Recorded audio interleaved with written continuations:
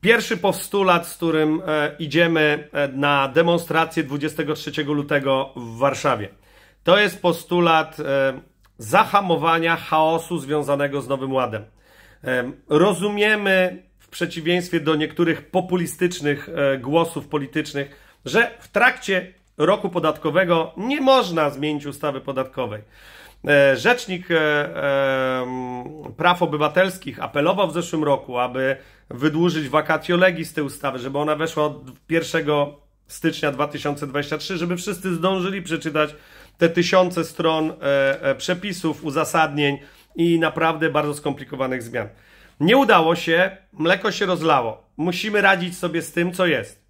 E, nasz pomysł jest bardzo prosty. Do ustawy o podatku od osób fizycznych i do ustawy o podatku dochodowym od osób prawnych chcemy dodać odpowiednie artykuły. Treść w opisie znajdziecie link do pisma, jakie e, będziemy wysyłać, wysyłaliśmy i też wy wyślijcie, skopiujcie to i wyślijcie mailem na podane adresy do posłów, do e, ministerstw, do pana premiera. Treść jest bardzo prosta chcemy pogodzić jakby dwa interesy. Jeden to jest interes e, partii rządzącej, która mm, chce mieć większe dochody, chce, chce mieć większy budżet, większy socjal. Mm, no, jakby te ulgi podatkowe tam się nie do końca udały i nie wiadomo, jak to do końca będzie. No, jak wiemy, zdymisjowany został minister, więc myślę, że i partia rządząca nie jest zadowolona z efektów Nowego Ładu, ale szanujemy to, że chcą jakiś, o, jakieś zmiany podatkowe wprowadzić. Tylko chcemy ich przekonać 23, że one w tej chwili nie tylko nie przyniosą pozytywnych rezultatów, ale przyniosą negatywne do spodziewanych. Dużo osób się albo wycofa za granicę z działalnością gospodarczą, albo pójdzie w starą strefę i w, pójdzie w szarą strefę i w rzeczywistości rząd będzie musiał ganiać przedsiębiorców. Ja przypomnę, że taki pomysł miał minister Rostowski w rządzie e, e, e, Platformy Obywatelskiej.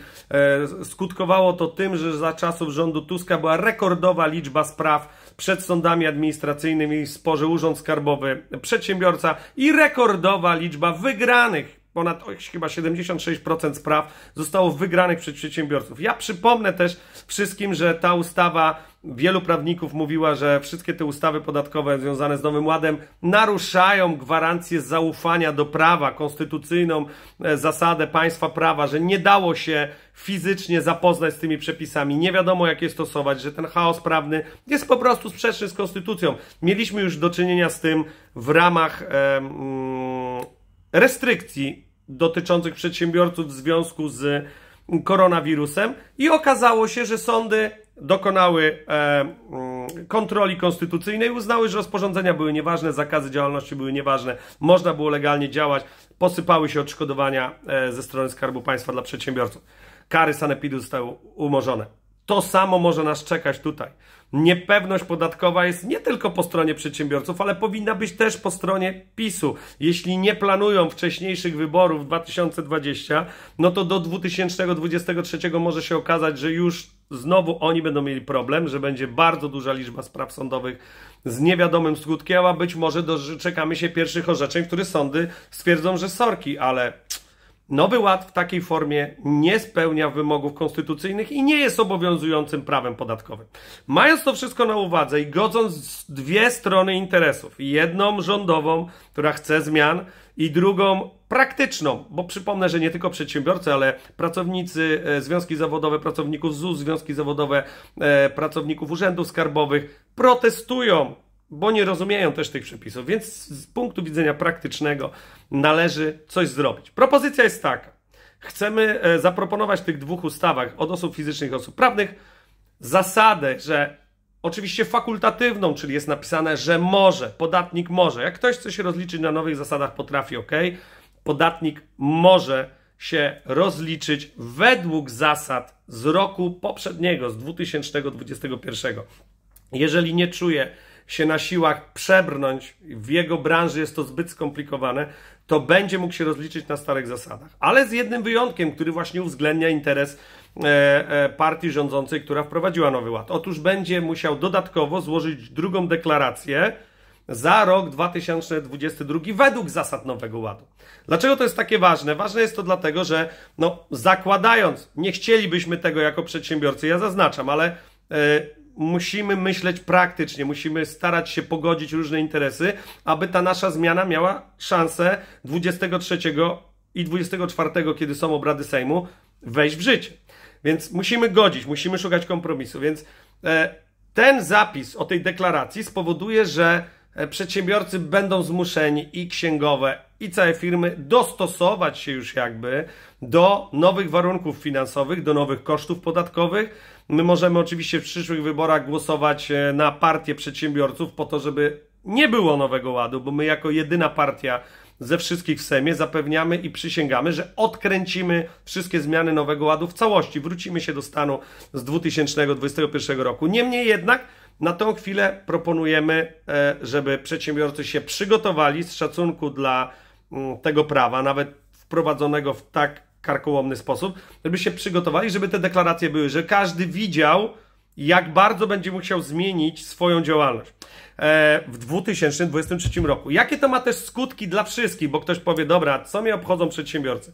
Nie, to są skutki dla wszystkich, bo podniesienie kosztów podatkowych to jest też wpływ na podniesienie kosztów cen. Mamy galopującą inflację. Za chwilę skarb państwa będzie ponosił skutki tej galopującej inflacji, będzie drożał, drożało obsługa długu. Więc ja myślę, że i w interesie prezesa e, Glapińskiego i Narodowego Banku Polskiego również jest wstrzymanie kolejnego symptomu, kolejnego impulsu, który wzmacnia inflację. W związku z tym myślę, że to jest rozwiązanie, które proponujemy bardzo kompromisowe, dla wszystkich bardzo wygodne. Jest słowo może, kto chce rozlicza się w Nowym Ładzie i jest jeszcze jeden warunek. Otóż e, te zapisy będą dotyczyć tylko małych, średnich przedsiębiorstw, według definicji Komisji Europejskiej. To jest artykuł drugi załącznika do zaleceń Komisji Europejskiej 2003 przez 361 WE. Zatem duże przedsiębiorstwa muszą sobie poradzić z nowym ławem i ja myślę, że to też jest zgodne z deklaracjami politycznymi partii rządzącej, która wprowadziła bardzo dużo zmian, które miały utrudnić firmom międzynarodowym wypompowywanie zysków z Polski.